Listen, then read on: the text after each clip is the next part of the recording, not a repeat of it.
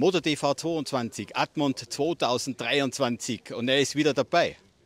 Marco Maurer und Patrick Lutz mit dem Audi. Die Ringe dürfen nicht fehlen. Eure Audis, die was ihr aufbaut und jetzt wieder das originale Rennauto von dir kommt wieder hier nach Admont. Genau, also Gott sei Dank haben wir den Audi wieder zusammen mit vereinten Kräften aufgebaut. Letztes Jahr waren wir auch da als Vorausauto mit dem Lancia, aber das sei nicht mehr. Wir brauchen unseren Audi Quattro dazu. Definitiv Dietmar. Ja, Patrick, du hast ein Lächeln im Gesicht. Ja. Vor wenigen Monaten war das noch ganz anders. Ich kann mich da gut erinnern und jetzt steht er wieder da. Gewaltig. Also das ist ja eine super Idee gewesen, dass wir die Comeback-Rallye 2023 in Admont machen, weil es auch uns unsere Lieblingsrallyes ist. Wir haben brutal viele Fans da, die Atmosphäre passt, die Sonderprüfungen sind super, das Wetter passt, heute zumindest.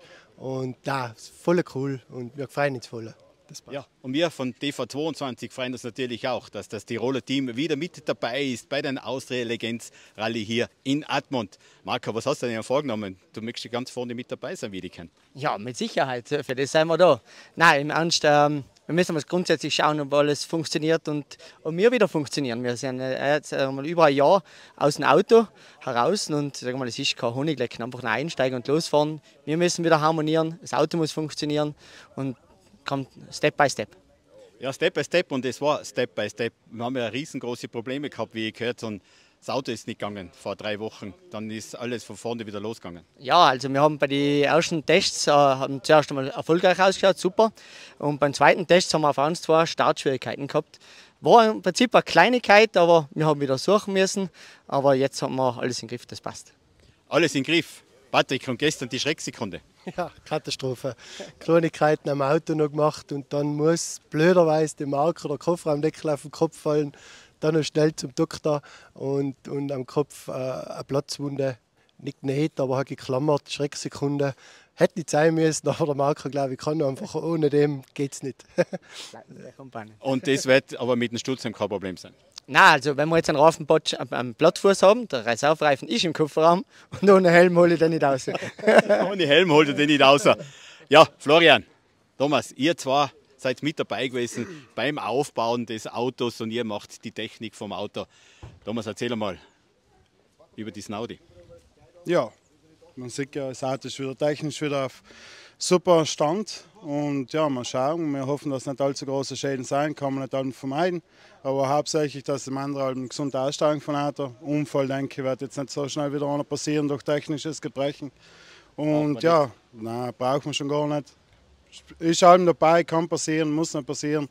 Und technisch, denke ich, passt das Auto schon. Das werden wir schon hinkriegen. Und technisch müssen wir auch ein bisschen was fragen. Florian, über die technischen Daten wollen die Leute immer gerne was wissen. Wie viel Bauer hat er denn? Wir wissen selber nicht ganz, aber wir kratzen an die 500, 2,5 Liter, 20 V-Block, 6-Gang-Getriebe, Spurdifferentiale und wenig Gewicht. Und da geht das weiter?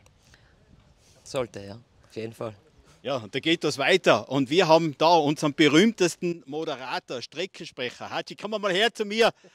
Unser lieber Freund, den was ich nach 35 Jahren wieder einmal triff. Hatschi, die Ringe sind wieder dabei.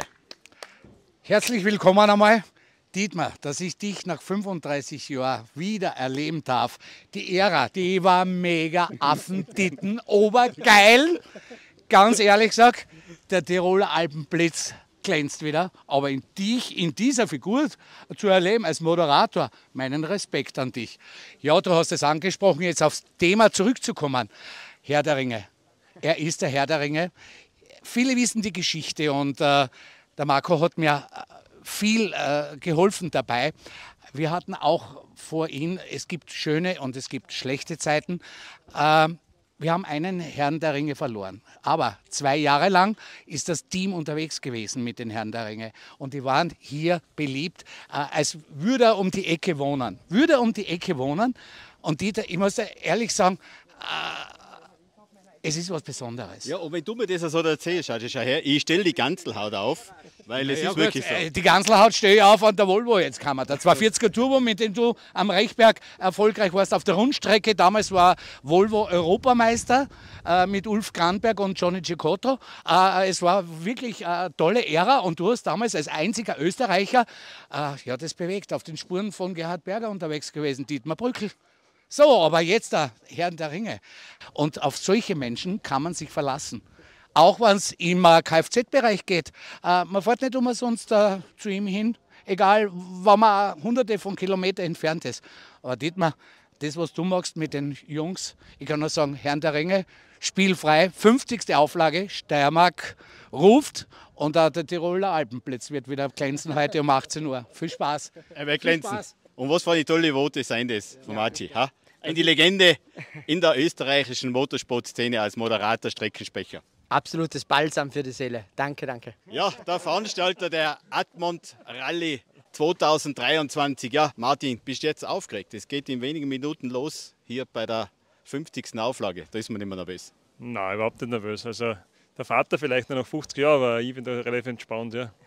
Aber alles locker.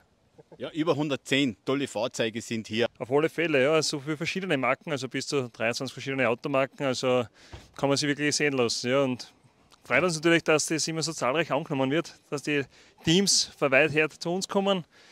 Freut uns sehr als Familie und auch rund ums Arbeit im Atman. Ja. Da wünschen wir eine unfallfreie 50. Auflage, viel Erfolg und eine Gratulation für dieses tolle Starterfeld. Vielen Dank, danke. Danke. Danke.